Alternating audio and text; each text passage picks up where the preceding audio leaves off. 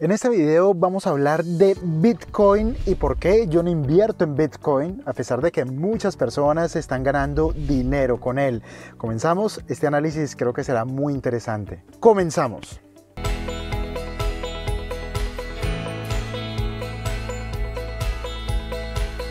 Como lo podemos observar en el siguiente gráfico, eh, durante el año 2016 y todo el año 2017, el Bitcoin pasó de valer casi nada, aproximadamente 200 dólares por unidad, a cotizar a 20 mil dólares en diciembre del año 2017. Fue un grandísimo rally para el Bitcoin, especialmente entre 2016 y 2017, que fue cuando se dio a conocer realmente al gran público. Sin embargo, después de tocar este nivel de 20 mil dólares en diciembre del año 2017, a continuación todos vimos el Bitcoin caía de manera estrepitosa y llegó a cotizar a niveles de 3.500 dólares. Es una gran volatilidad un fuerte movimiento alcista hasta llegar a los 20 mil dólares y después un fuerte movimiento bajista hasta regresar a los 3.500 dólares estuvo entre 3.500 dólares, 5.000, 10.000 y volver a caer hasta 4.000 y 5.000 dólares hasta que llegó el tema del COVID-19 en marzo del año 2020. En aquel momento el valor del Bitcoin cayó desde los 10.000 dólares de cotización previo al COVID hasta mínimos de 5.000 dólares. Es una caída del 50%. Después de esta caída brutal de marzo, el Bitcoin comienza a recuperarse y nos ha un rally muy potente, desde aquellos mínimos de 5 mil dólares a los que cotizó en marzo del año 2020 hasta niveles máximos de 42 mil dólares a los que ha cotizado a principios de este mes de enero del año 2021. 5 mil dólares en marzo del año 2020 hasta 42 mil dólares del año 2021, en enero del año 2021. Es una fuerte volatilidad alcista. Aquí hay muchas cuestiones, eh, existen muchas razones por las que yo podría invertir y podría estar invertido, podría pensar en invertir en el futuro, en el Bitcoin, pero existen otras razones que desde mi punto de vista es una cuestión personal, son de peso y que son las que me llevan a tomar la decisión de no estar en Bitcoin. Eh, la primera razón por la que podríamos estar invertidos en Bitcoin es porque, por ejemplo, muchos inversionistas de leyenda, entre ellos Paul Tudor Jones, a quien yo sigo y le tengo un gran respeto, es uno de los grandes traders de la historia, fue una de las personas que más dinero hizo durante el crack de 1987, pero no ha sido una transacción de una sola vez, sino que lleva 40 años en el mercado teniendo una gran consistencia. Además es una de las personas más ricas del mundo y se hizo millonario con esto. Y otro de ellos es Stanley Druckenmiller, que fue el socio durante muchísimos años al lado de George Soros y fue uno de los grandes managers del Soros Fund, que para los que no lo saben fue Stanley Druckenmiller quien desarrolló la estrategia especulativa que terminó provocando el derrumbe de la libra esterlina en la década de los 90. Antes de continuar, existe un entrenamiento nuevo y que se me hace muy interesante para la mayoría de ustedes y es el entrenamiento avanzado de Dividend Growth Investing o lo que es lo mismo, invertir en dividendos crecientes. Esta estrategia a mí me ha dado muchísimos réditos a lo largo de la última década por cuestiones muy específicas que son las que intentaré explicar durante el entrenamiento. Pero en términos generales es una estrategia que permite que los activos en los que invierto trabajen mucho más duro de lo que yo trabajo y me permiten ganar más dinero del que yo por mis propias capacidades puedo ganar. Si una estrategia de inversión en dividendos crecientes tiene sentido para ti, aquí debajo te dejo un link con los detalles. revísalo, te inscribes y si Dios quiere nos vemos en los entrenamientos. Si ustedes buscan en Google George Soros contra la libre esterlina, encontrarán los detalles de esa operación. Una operación que les dejó rendimientos en un solo día de 18 mil millones de dólares, creo. Incluso hay que invertir aprendiendo al hablar de la biografía de George Soros. Hablamos de aquella operación y hablamos de Stanley Druckenmiller. El hecho es que personas como Stanley Druckenmiller y Paul Tudor Jones son algunos de los inversionistas más exitosos del mundo y ellos son los que están pedaleando, entre otros, son los que están pedaleando o recomendando o sugiriendo o diciendo que el Bitcoin son una moneda del futuro y que además tienen propiedades o características de calidad que les permitirían convertirse en valores en valores refugio.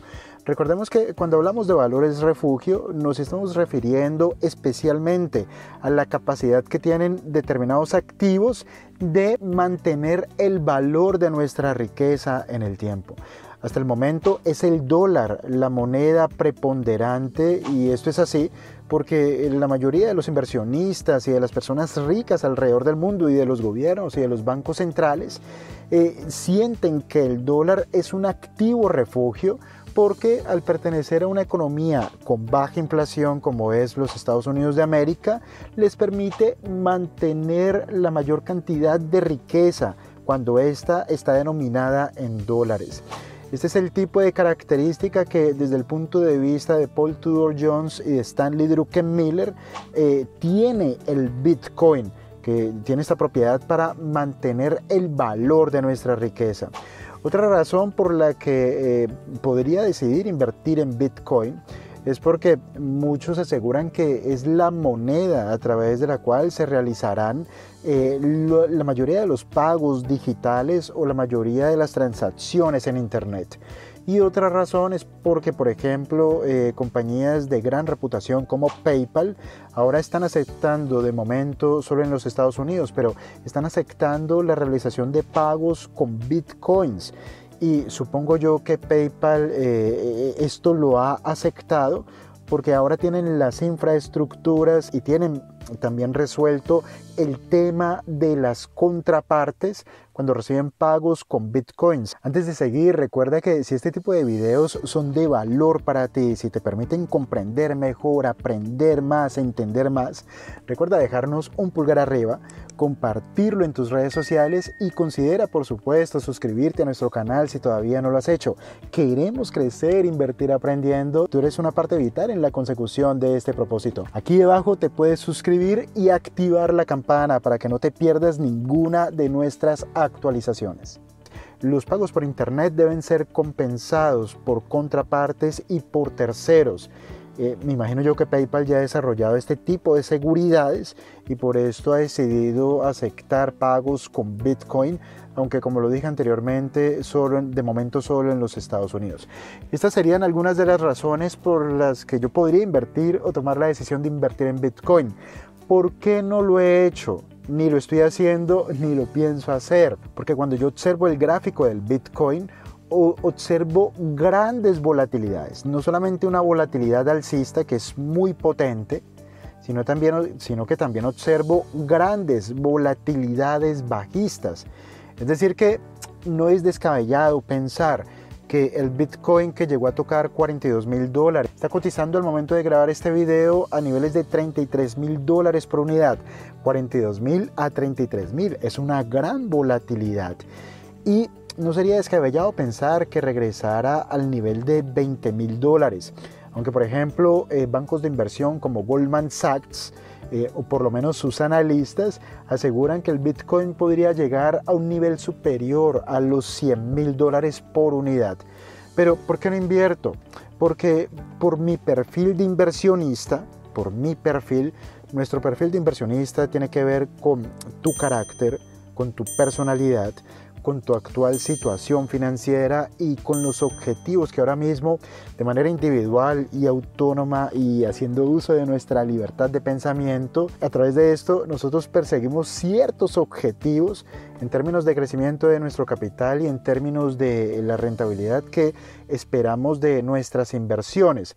por mi perfil de riesgo, el Bitcoin no encaja. ¿Por qué? Porque para mi perfil de riesgo y para los objetivos que yo persigo, no sería nada razonable invertir en algo que podría caer un 50% o un 80% con demasiada facilidad. ¿Saben qué es lo que ocurre cuando eh, los activos en los que inviertes no son coherentes con tu personalidad o no son coherentes con tu carácter o, con tu perfil de riesgo? Que cuando estos activos comienzan a evolucionar en una, de una manera en la que va en tu contra, que que te comienza a generar pérdidas, como no son coherentes con tu perfil de riesgo, te hacen sentir incómodo, te, no te permiten estar tranquilo con la posición. Y esta incomodidad y esta intranquilidad, como hay un conflicto entre la volatilidad del activo y tu personalidad, este conflicto, cuando los activos eh, se ponen en tu contra, probablemente te llevarán a tomar decisiones equivocadas en términos de el timing al momento de tomar la decisión de vender o de salir de esa posición. Cuando yo estoy invertido, por ejemplo, en acciones de gran calidad fundamental, eh, que por otra parte la mayoría de ellas son dividend growth o dividend aristocrats, como este tipo de inversiones eh, están muy eh, perfiladas o muy ajustadas a mi perfil de riesgo, a mi personalidad y a los objetivos que yo estoy persiguiendo en términos de crecimiento y en términos de rendimiento, eh, cuando estas acciones caen, que también caen, yo lo puedo aguantar con total tranquilidad, principalmente porque yo este, estos negocios en los que invierto, yo los entiendo yo comprendo de dónde sale el dinero, yo comprendo el, el modelo de negocio, yo comprendo de dónde sale el flujo de efectivo y cuáles son los catalizadores. Y como yo lo entiendo, esta comprensión me genera tranquilidad y esta comprensión va mucho más allá del precio de cotización. Y es más, cuando el precio de cotización cae, y como mi nivel de comprensión de estas inversiones es tan profundo, yo aprovecho para coleccionar más de estos activos, es decir, para invertir más. No me ocurre lo mismo con Bitcoin. Yo no tengo este nivel de comprensión tan profunda sobre el Bitcoin. Yo no eh, soy tan sabio en términos de monedas digitales como esta gran cantidad de gurús y multimillonarios del Bitcoin que te encuentras en las redes sociales con tanta facilidad. Yo no tengo ese tipo de comprensión y desde mi punto de vista la riqueza a largo plazo está íntimamente relacionada con el nivel de conocimiento que tienes sobre las inversiones que estás realizando y por la correlación que tiene la volatilidad que te ofrecen estas inversiones en relación a tu carácter, a tu personalidad y a tu perfil de riesgo. Esa es la razón principal por la que yo, por la que yo no estoy en Bitcoin. No todas las inversiones son para todo el mundo. Por lo tanto, el rendimiento o eh, lo que tú vayas a conseguir de tus inversiones no depende tanto de los activos en sí, sino que dependen, dependen mejor de la correlación que tengan con tu perfil de riesgo, porque si están bien correlacionados, si, si ajustan a ti, son los activos los que se deben ajustar a tu personalidad y no tú a los activos. Si se ajustan a ti, entonces tú vas a poder tomar decisiones de manera muy racional y muy inteligente y vas a poder enfrentar de mejor manera cuando, cuando el mercado se ponga en tu contra, porque en muchas situaciones se pondrá en tu contra. Espero que este video haya sido de valor para ti. Mírate un gráfico del Bitcoin y respóndete tú mismo si serías capaz de soportar una caída del 20, el 30, el 40, el 50 y el 80%. Si tu corazón es capaz de soportar eso y además tú tienes el conocimiento especializado que necesitas, entonces el Bitcoin es para ti. Me despido. Recuerda darle un me gusta si este video te ha gustado, compartir nuestro contenido en redes sociales y considera suscribirte a nuestro canal si todavía no lo has hecho. Recuerda solicitar los 15 videos de nuestro curso gratis de bolsa. Es gratis, pero estará disponible solo por tiempo limitado. Aquí debajo un link con los detalles, lo solicitas y lo enviaremos a tu correo electrónico. Me despido, nos vemos en el próximo video. Hasta pronto.